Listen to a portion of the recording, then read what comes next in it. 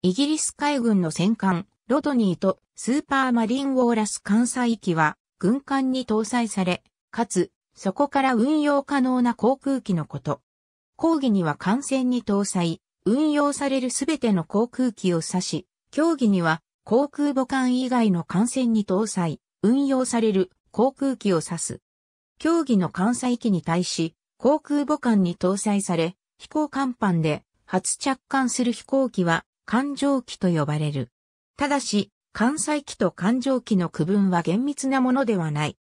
艦載機という用語は艦船に搭載、運用される航空機の総称の意味で用いられることも多く、この場合には、厳密には、艦上機と称すべき飛行機であっても艦載機と呼ばれる。本校では、競技の艦載機について説明する。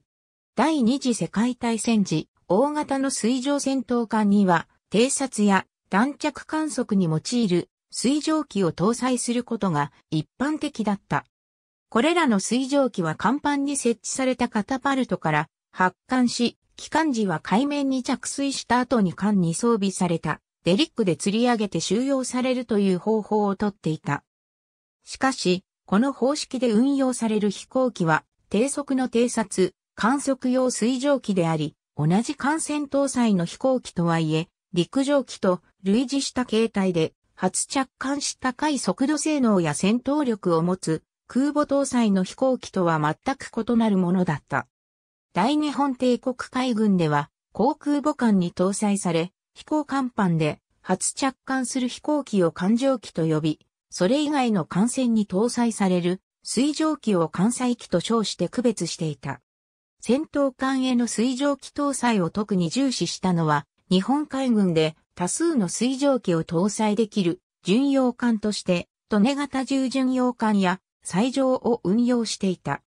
潜水艦への水蒸気搭載にも積極的で潜水空母の異名を持つ400型をはじめ、水蒸気を搭載できる潜水艦を40隻以上収益させている。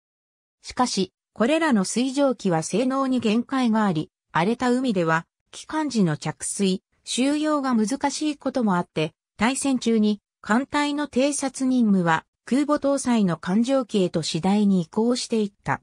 アメリカ海軍が1949年に艦載水蒸気の運用を終了したのを最後に戦闘艦への水蒸気搭載は行われなくなった。戦後、水蒸気に代わって艦船に搭載されるようになったのがヘリコプターである。垂直離着陸が可能で狭いスペースでも運用できる。ヘリコプターは艦船での運用に適しており、第二次世界大戦中から試験が行われていた。